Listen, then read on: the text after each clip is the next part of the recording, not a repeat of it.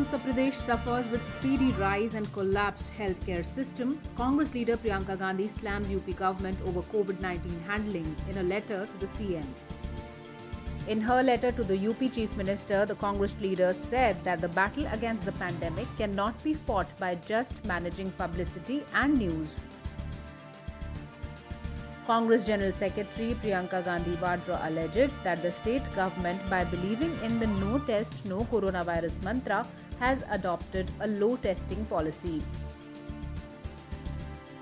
Congress leader Priyanka Gandhi Vadra on Saturday attacked the Yogi Adityanath government over its handling of the COVID 19 crisis, saying that at a time when there is an explosive rise in cases, its no test is equal to no corona policy can lead to a frightening situation.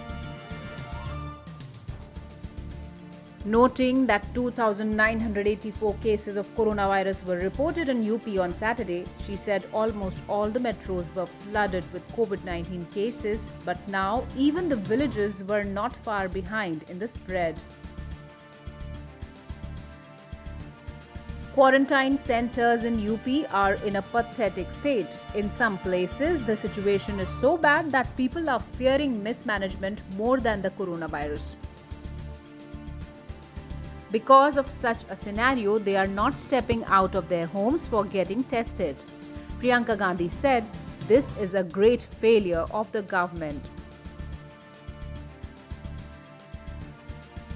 There is an explosive rise in COVID 19 cases.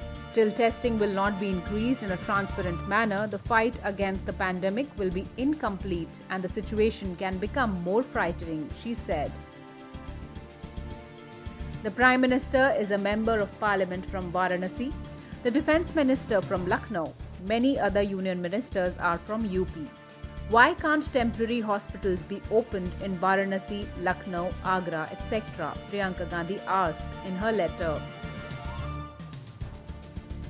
Tightening its grip over Uttar Pradesh, the deadly virus infected 2,984 people in the largest single day spike till date on Saturday while the state of hospitals is pathetic across the state.